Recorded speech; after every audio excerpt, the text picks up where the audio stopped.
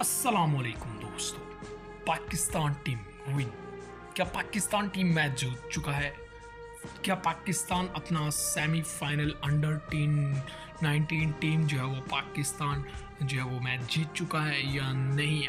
क्या सूरत हाल आपको? तमाम तरह डिटेल से जो है वो आगाह किया जाएगा। अपनी वीडियो को आखिर तक ज़रूर देखना है। अगर आप पाकिस्तान अंडर 19 टीम के फ़ैन है तो उस वीडियो को लाइक ज़रूर कर दीजिएगा।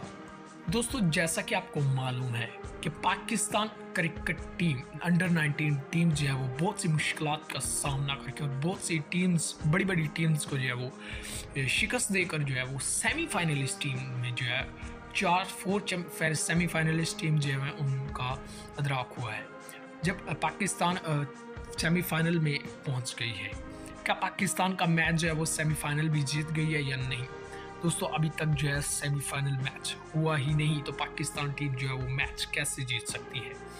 सोशल मीडिया पर जो है ऐसे बहुत गलत अल्फाज चल रहे हैं कि पाकिस्तान अंडर 19 टीम जो है वो ऑस्ट्रेलिया से जो है वो सेमीफाइनल जीत चुकी है, अभी तक नहीं जीती।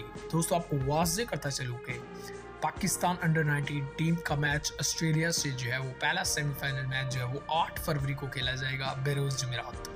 जी हाँ दोस्तों इसके बारे में आप मज़ीद क्या कहेंगे? जो ऐसे लोग वीडियो बनाते हैं, अपनी राय जो है वो कमेंट में ज़रूर पेश कीजिएगा। और इन लड़कों के बारे में जो आप कमेंट में क्या कहना चाहेंगे ज़रूर बताइएगा। इसके अलावा जो उबैद शाह उबैद शाह के बारे में मैं बात करना चाहूँगा आपसे कि वो नसीम शाह के भाई क्या शानदार बॉलिंग करते हैं। अगर जितवाएँगे तो वही इन ताला जो है वो सेमीफाइनल जितवा सकते हैं, जैसे कि उनके पास बोल। जैसे कि दोस्तों गुज्त मैच में जो है वो, उबैद शाह ने जो है वो पाँच विकेटें हासिल की।